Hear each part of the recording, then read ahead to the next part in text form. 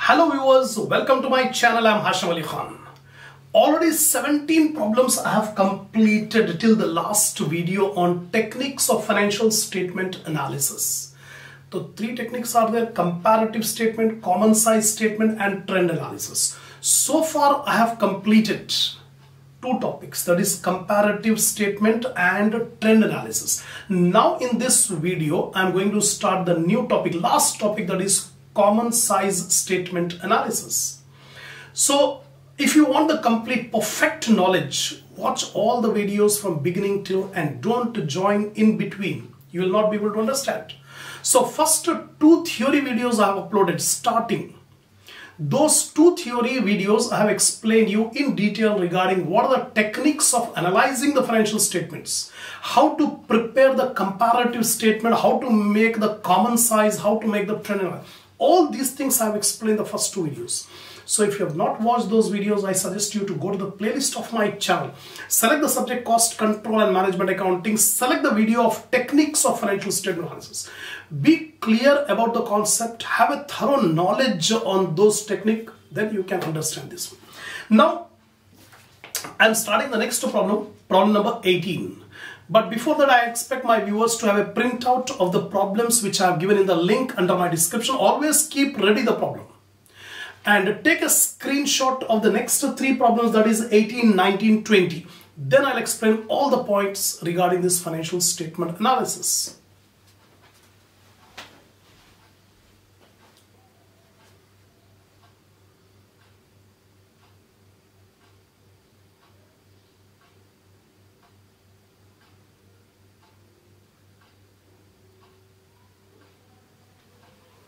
Now, see the 18th one. The following data is available from the profit and loss account of Deepak Limited. So data is given regarding the profit and loss account, sales, wages, selling expenses, gross profit. Four items are given. For the year 1986, 87, 88, 89. You are required to show the trend percentage of different items. Already three, four problems in the previous videos I have completed. How to calculate the trend percentages now first question A bit, you have to calculate the trend percentage for all the four items, sales, wages, selling expense, gross profit. And second question, trend percentage of relationship between wages, selling expense and uh, wages, selling expense and gross profit on sales. The second part later on we'll discuss. First of all, first point A, calculation of trend percentage of different items. This is not a different one. Already we have done. Deepak Limited calculation of trend percentage of sales, wages, selling expense and gross profit. Four items are given. So sales, wages, selling expense and gross profit. For calculating trend percentage, the first year normally will be taken as the base year. So here the first year is 1986. For 1986, all trend values should be 100. All 100. Right? Now we have to calculate the trend values for other years. So what is the formula? Already in the previous video I have explained trend percentage is equal to value in the current year divided by value in the base year into 100. So here in the problem it is given, first of all we'll take the sales. 1986 all values I have taken 100. Now 1987. 3 lakh 27 500 divided by 3 lakh 10,000. Base year sales are 3 lakh 10,000 and this 3 lakh 10,000 should be taken in the denominator. Numerator 3 lakh 27 500 so 3 lakh 27,500 divided by 3 lakh 10,000 into 100, you'll get 105.65. Next one, 3 lakh 20,000 divided by 3 lakh 10,000 into 100, you'll get 103.23. Last one, 3 lakh 32,500 divided by 3 lakh 10,000 into 100, you'll get 107.26. Similarly, for wages, one more item I'll explain. Uh, wages, the base year wages are 107,500 and the current year 1987 it is again 107,500 so one here we have taken 100 here also we'll take 100 because it is same value same. Then third year 1 lakh 15,000 so numerator 1 lakh 15,000 denominator 107,500 into 100 you will get 106.98 last one 1 lakh 20,000 so 1 lakh 20,000 divided by 107,500 into 100 you will get 111.63 Similarly, we have to calculate for selling expenses and gross profit. So this first part is completed calculation of trend percentages as usual. Secondly, it is asking you to calculate trend percentage of relationship of wages, selling expense and gross profit to sales. That means sales we will take it in denominator and all the respective values will take it in the numerator. So here relationship of wages, selling expense and gross profit to sales. So each item will be related to sales. For example, wages. Wages to sales. Then selling expenses to sales. Gross profit to sales. So we are making a relationship. Percentage of various items on sales. Right? So here first one wages to sales. Now we will calculate the percentage of wages on sales. So how much are the wages in 1986? It is 107,500. How much are the sales? 3 lakh 10,000. So 1 lakh 7,500 should be taken in the numerator and denominator 3 lakh 10,000 sales. That means wages by sales in 200. Wages by sales in 200. So 107,500 divided by 3 lakh 10,000 into 100. You will get 34.68. Now we'll come to 1987. Wages are 107,500. Sales are 3 lakh 27,500. So 107,500 divided by 327,500 into 100. You will get 32.82. Denominator we will take the sales. Numerator will take the wages. We'll take the wages. Third year. 1 lakh 15,000 divided by 3 lakh 20,000 into 100. You will get 35.94. Last one. 1 lakh 20,000 wages divided by sales are 3 lakh 32,500 into 100. You will get 36.09. So we have calculated wages to sales. Similarly, we have to calculate selling expenses to sales. Only one item I'll explain. Selling expense are 25,750. This should be taken in the numerator. Denominator sales. How much are the sales? 3 lakh 10,000. So 25,750 divided by 3 lakh 10,000 into 100. You will get 8.31. Second, one more. 29,000 is the selling expenses. Sales are 327,500. So 29,000 divided by 327,500 into 100. You will get 8.85. Like this last one gross profit to sales. So take the gross profit 90,000 divided by sales 3 lakh 10,000 into 100. You will get 29.03. Second is 95,000 is the GP. 95,000 divided by 327,500 into 100. You will get 29.01. This is called relationship of various items to sales. Denominator will take the sales and numerator will take the respective variables. That's it. Now we have to calculate the percentage trend values of all these values. Of all these relationship, we have to find out the trend percentage. So what we are calculating? Trend percentage of relationship of various items to sales. The various items are wages, selling expense and gross profit. So first wages to sales, second selling expenses to sales, third gross profit to sales. The first year will be taken as the base year. What is the first year? 1986. So all these values should be taken as 100% trend values. Now as usual we calculate the trend percentage. Base year all values 100. The other values can be obtained by taking current year value divided by base year value into 100. For example, this 94.64, how do we get got this one? 32.82 divided by 34.68, base year value. Current year value is 32.82, numerator. Divided by 34.68 into 100, you will get 94.64. Next one, 35.94 divided by 34.68, base year value, into 100 you will get 103.63. Similarly, 36.09 divided by 34.68 into 100, you will get 104.07. Same procedure for this one. The current year value is 8.85, base year value is 8.31. 8.85 divided by 8.31 into 100, you'll get 106. Similarly, this take it in numerator, this is denominator, into 100, you'll get this one. Then 8.35 divided by 8.31 into 100, you'll get 100, 100.48. Last one also same. Current year value 29.01 divided by 29.03 into 100, 99.93. 24.22 divided by 29.03 into 100, you'll get 83.43. That's all. This is the trend percentage of relationship of various variables to sales. That's it. So this is the end of problem number 18.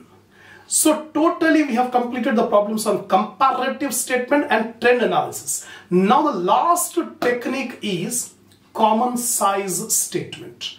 So common size statement is also one of the technique of analyzing the financial statements. So what will, how we'll make the common size first time we are going to see. In common size statement, one item we have to take it as base and express all other items as a percentage on sales. That means sales should be taken as 100%. So if you are making income statement, the biggest item always will be revenue from operations or sales. Both mean same. We can call it as revenue from operations or we can call it as sales.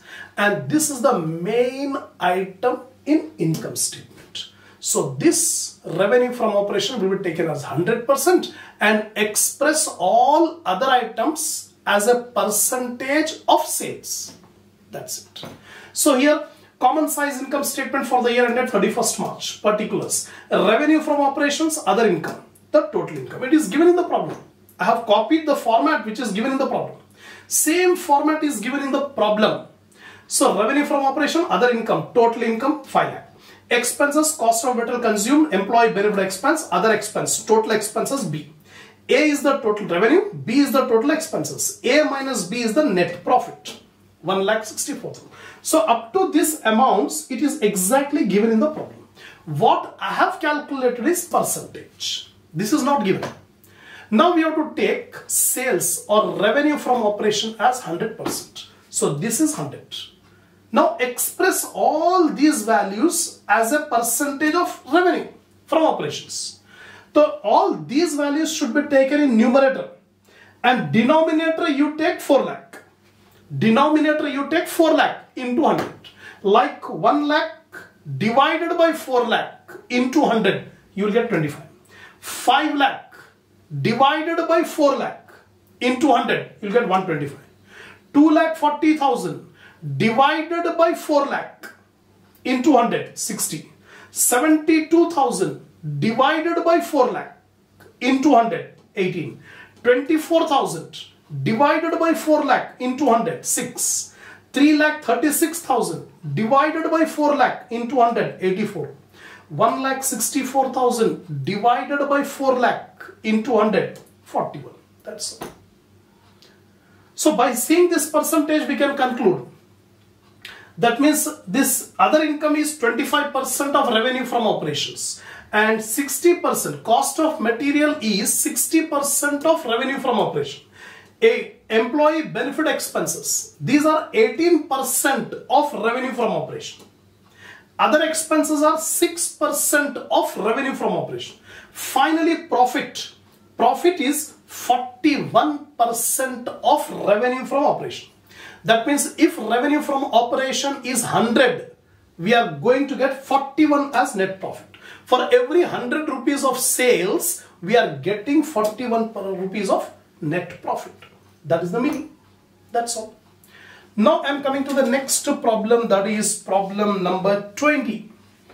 The following figures are extracted from the books of Ravindra Limited for the year ended 31st March 2017. So here sales, purchases, opening stock, closing stock.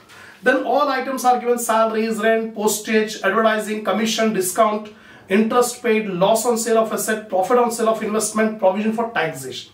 You are required to prepare a common size income statement. Again just like the previous problem. We are required to make common size income statement. Now see here. Common size income statement for the year ended 31st March So here sales are given. Revenue from operations or sales means one and the same. So revenue from operations, sales, 3,15,000 given in the problem. Cost of goods sold. From sales, when we deduct the cost of goods sold, we will get the gross profit. Sales minus cost of goods sold will get the gross profit. Cost of goods sold, how to calculate? Opening stock plus purchases minus closing stock will get cost of goods sold. All the values are given. Opening stock is given, purchase are given, closing stock is given. So cost of goods sold B 1 lakh 53,300. We have sales, we have cost of goods sold. Sales minus cost of goods sold will get the gross profit A minus B. So gross profit we got 1 lakh 61,300. From gross profit we deduct operating expenses. The operating expenses are salaries, rent, postage and stationery, advertising, commission, discount allowed. This you have to remember which are called operating expenses. So these are the operating expenses. Take the values in the first column. The total operating expenses are denoted as D, 29,190. Gross profit minus operating expenses. We will get operating profit. The gross profit is 1,61,300. Operating expense of 29,190. Deduct, we'll get operating profit 1,32,510. To this operating profit, we add non-operating income and we deduct non-operating expenses. So what is non-operating income? Only one item is given profit on sale of investment. Actually, investment will not be regularly sold. Sometimes investment are sold. It's a non-operating. It is not relating to operations. So it is non-recurring. So profit on sale of investment is a non-operating income, 3,999. From this we deduct non-operating expenses.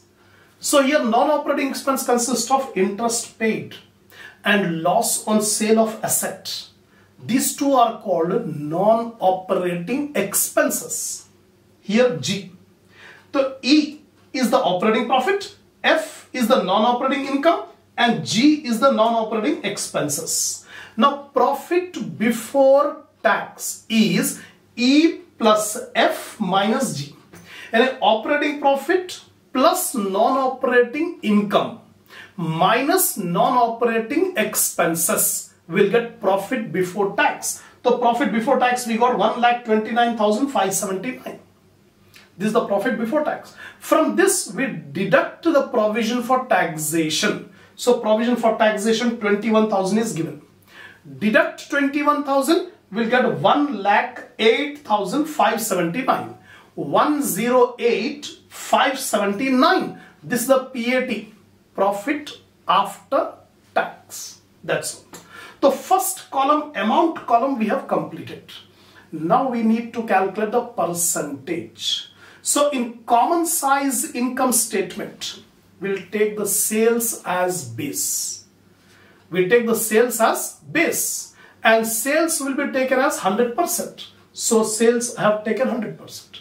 Now express all these values as a percentage of sales. That means these values should be taken in the numerator and sales 3,15,000 should be taken in the denominator then multiply by 100. Example 29,400 divided by 3,15,000 into 100, you will get 9.33. Similarly, 1,57,500 divided by 3,15,000 into 100, 50%. Similarly, 1,86,900 divided by 3,15,000 into 100, 59.33. One more item I explain. 33,600 divided by 3,15,000 into 100, 10.67. Like this, you have to calculate all the percentages. That's it. This is called common size income statement.